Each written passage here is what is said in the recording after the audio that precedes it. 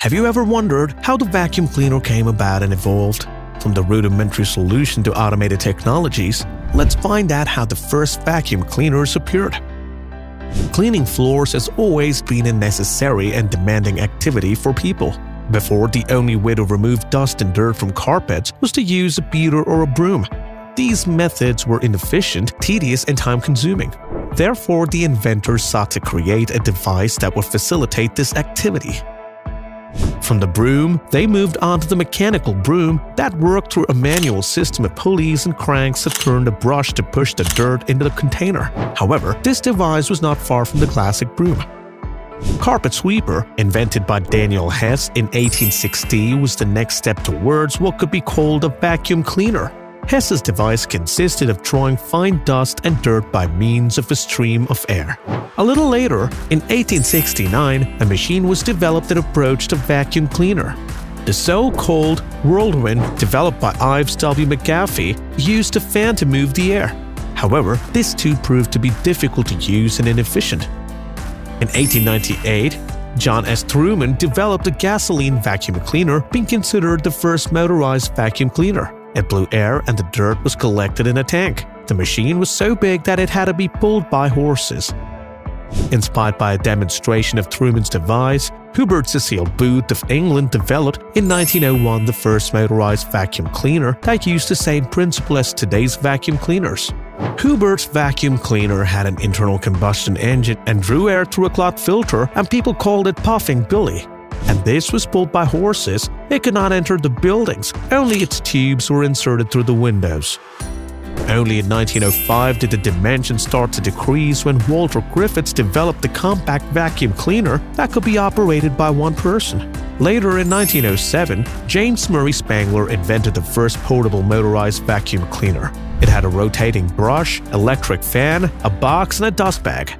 James did not have the money to begin production of his idea, so he sold the patent to William Henry Hoover. Hoover redesigned the vacuum by putting in it a steel box having hose attachments and calling it the Hoover Model O. To make it known, Henry started doing door-to-door -door demonstrations, the activity of vacuuming the carpet coming to be called hovering the carpet. The 1920s brought new inventions. The Airway Sanitizer Company has introduced a disposable filter fiber bag, the first disposable paper bag for vacuum cleaners. Airway also created the first two-motor upright vacuum and was the first to use HEPA filter on a vacuum. In the 1930s, the first plastic vacuum cleaners appeared on the market. Thus, various more or less functional models began to appear. Later in 1952, Hoover stood out again with the Constellation vacuum cleaner. This was a small and versatile vacuum cleaner with a canister that could be positioned in the middle of the room, allowing the user to work around it. In 1963, David Oreck designed a light but powerful vertical vacuum cleaner for the hotel industry. The hotel employees were so impressed by the vacuum cleaner that they asked to buy it for personal use as well. Thus, Oreck's company entered into a partnership with Whirlpool, which involved redesigning old Whirlpool vacuum cleaners. Vacuum cleaner technology has constantly evolved from year to year and from manufacturer to manufacturer. But a major innovation was introduced by James Dyson starting in 1978. After over 5,000 prototypes, Dyson introduced the first bagless vacuum cleaner, being the innovation with which Dyson dominated the vacuum cleaner market for a very long time. In 1979, Black & Decker introduced the Dust Buster, a rechargeable cordless handheld vacuum that was very popular.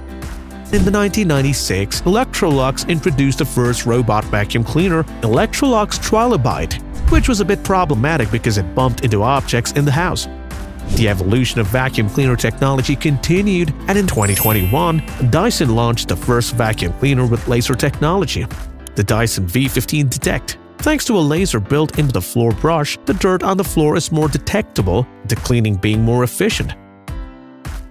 Since then, the technologies with which the vacuum cleaners are equipped have constantly evolved, having available dozens of high-performance vacuum cleaners with innovative functions such as self-cleaning or vacuuming and mopping at the same time. Let's not forget one of the most notable developments in this field, autonomous vacuum cleaners or robot vacuum cleaners. They can be controlled from smartphones via dedicated apps, allowing users to turn them on, off, and schedule them remotely. With the help of sensors and mapping technologies, They can navigate autonomously through interior spaces, are equipped with advanced filtration systems, can measure the level of dirt in the room and automatically adjust the suction power. The evolution of the vacuum cleaners is impressive. The vacuum cleaner is currently becoming a real efficient cleaning assistant and we will certainly continue to see innovations in this field.